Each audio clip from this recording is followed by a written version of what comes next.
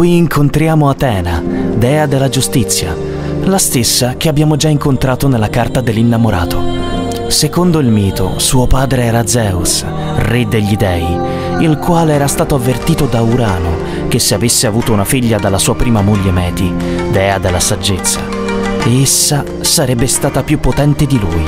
Per prevenire tale eventualità, egli divorò Meti prima che potesse dare alla luce la figlia che portava in grembo. Poco tempo dopo, Zeus fu preso da un insopportabile mal di testa. Per curarlo, Efesto, il dio fabbro, gli aprì la testa con un'ascia di bronzo e dalla ferita uscì Atena, già armata di tutto punto, gettando un trionfale grido di vittoria. A quella vista, gli dei immortali furono presi dallo stupore e dalla meraviglia. La dea divenne la figlia favorita di Zeus, la cui predilizione nei suoi confronti era così forte da suscitare la gelosia degli altri dei. Il carattere bellicoso di Atena fu immediatamente evidente sin dalla nascita, ma ella era diversa da Ares, dio della guerra, sotto molti punti di vista. L'arte della guerra coltivata da Atena non si basava sulla predilizione per il combattimento e gli spargimenti di sangue. Al contrario, essa si ispirava ad altri principi e alla precisa consapevolezza della necessità di combattere per difendere e propagare la verità. Ella assomigliava più a uno stratega che a un rude guerriero e contrapponeva all'aggressività fisica di Ares la forza e la logica, la diplomazia e l'astuzia. Proteggeva gli arditi e i valorosi e divenne la protettrice di molti eroi, ma la protezione che ella offrì a Perseo, a Ulisse e ad altri famosi guerrieri consisteva sempre in armi che dovevano essere usate con intelligenza, astuzia e preveggenza. Atena costituì un'evidente eccezione nella comunità olimpica a causa della sua castità e inoltre ella rese un pregevole servigio all'umanità. Infatti insegnò l'arte di domare i cavalli e diffuse alcune arti ed abilità manuali, tra cui quella della tessitura e quella del ricamo. Tra le sue molteplici attività c'erano non solo quelle finalizzate ai lavori utili, ma anche quelle inerenti alla creatività artistica. Quindi ella fu una dea molto colta, pur restando una combattente allorché si rendeva necessario difendere la pacifica cultura a cui ella presiedeva. L'arcano numero 8 è la giustizia. Nel mio mazzo di tarocchi di Marsiglia, diciamo proprio quello classico, è una carta estremamente potente, statica, ferma. Lo sguardo di questa donna forse senza espressione, la bilancia è proprio ferma, in preciso equilibrio. Insomma, è una carta che quando la vedo è come se il tempo si fermasse. È arrivato il momento di fermare tutto e fare un bilancio, un bilancio tra ciò che si sta vivendo, tra ciò che si vuole vivere, verso il cammino che si sta facendo, il cammino verso il quale si vuole andare. Insomma, c'è da prendere una decisione e per prendere questa decisione, per fare la cosa giusta, arriva il momento della sospensione, arriva il momento del fermo, arriva il momento dove tutto il mondo fa silenzio, si entra in uno spazio totale di, di, vuoto e di silenzio e si cerca di capire cos'è la cosa giusta. Certo, sì, poi possono esserci cose con la giustizia, eccetera, però a livello proprio evolutivo, quello che mi dice questa carta è questo: ferma tutto, stop, il tempo si ferma, ora valuta. Questo ha giustizia per la cartomantide spiritosa. Ciao a tutti da Cartomatta. Allora, la carta della giustizia vuol dire che ci eh, verrà fatta giustizia nei nostri confronti.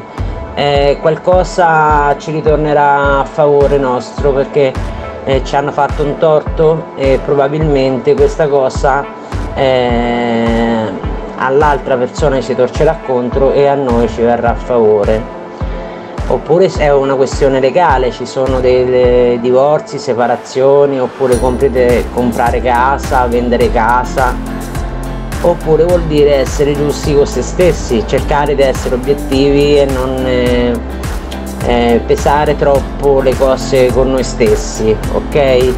Dunque la giustizia potrebbe essere anticipata sempre da una torre oppure che vorrebbe dire che c'è una rottura e c'è una separazione in corso con eh, gli avvocati oppure ci potrebbe essere un asso di spade dopo la giustizia.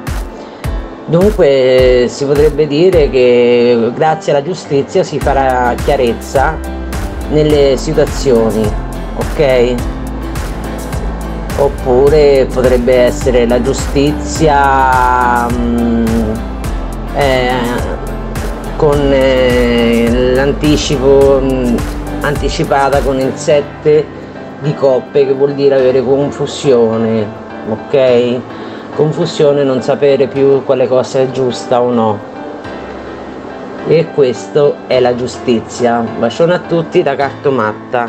Salve, sono Mother Moon. La giustizia. La giustizia per me rappresenta una ricerca di un equilibrio sentimentale e non o magari anche alcuni procedimenti penali e civili per una situazione in corso che possa essere matrimoniale o anche no. Quando mi esce questa carta e mi hai già chiesto se lui o lei ti torna, non posso darti una risposta immediata, ma Andando a girare altre carte e mi si vanno ad affiancare un re di bastoni, un otto di coppe e un sei di spade, allora il puzzle inizia a prendere forma. Alla tua domanda posso darti anche la risposta. Per me non torna. Non torna perché forse la vostra storia non è poi così importante o magari iniziata da poco e, e forse non è pronto o pronta a lasciare la sua vita di sempre, la sua stabilità per te. Quindi preferisce andare via, allontanarsi da te, per andare verso acque più tranquille o per restare nelle acque più tranquille, più comode per lui o per lei. Quindi vuoi un consiglio, ma vattela a trovare anche tu le acque più tranquille e più adatte per te, non aspettare. Ciao, sono Daniela di Tarocchi di Desiree. Oggi parliamo della giustizia e come la identifico sempre io, la donna incazzata. Perché? Perché la giustizia è riportare equilibrio nella propria vita. Significa tagliare con il passato e riportare equilibrio. Quella bilancia deve ritornare in equilibrio. Il dare e il giusto ricevere. La giustizia rappresenta per me, quando esce vicino a un papa, anche il divorzio. È una carta che mi indica divorzio, che mi indica problemi legali, problemi giudiziari e abbinata al mondo mi identifica che la propria energia è in equilibrio. Ciao da Cinzia di Segni, Sogni e Tarocchi. Ecco il nostro ottavo incontro con la carta della giustizia. E che dire, giustizia sia, eh? Qui questa carta ci dà la correttezza, la compostezza e l'irremovibilità. I simboli che la caratterizzano eh, sono appunto la spada e la bilancia si pesa e poi si taglia proprio per far giustizia. Bene ragazzi, questa carta preceduta da un paggio di bastoni e seguita da un 6 di denari un messaggio in arrivo da ben valutare per ottenerne il migliore dei risultati. E con questo vi saluto appunto con l'augurio di una buona valutazione a tutti e ciao alla prossima! Sono Tarocchi Polvere di Stelle. Per me la carta della giustizia è una carta che ci esorta a fare dell'introspezione per eh, mettere in equilibrio il nostro essere e mh, mm, ci aiuta anche a prendere le giuste decisioni nelle strade da percorrere. Uh, è una carta che um, in un certo senso uh, Mm, ci restituisce ciò che abbiamo seminato, questo sia nel bene che nel male. Ciao, sono Lady Kay. La giustizia è una carta che mi indica principalmente le conseguenze delle proprie azioni, conseguenze ovviamente nel bene o nel male.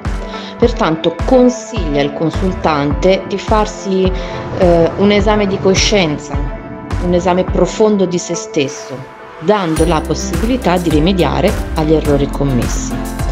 Se la dovessi incrociare con la carta degli amanti, mi potrebbe indicare, ovviamente servirebbero anche altre carte, ma potrebbe indicare una relazione karmica oppure il bisogno di prendere alcune decisioni per il proseguimento o l'interruzione di quello che è il rapporto.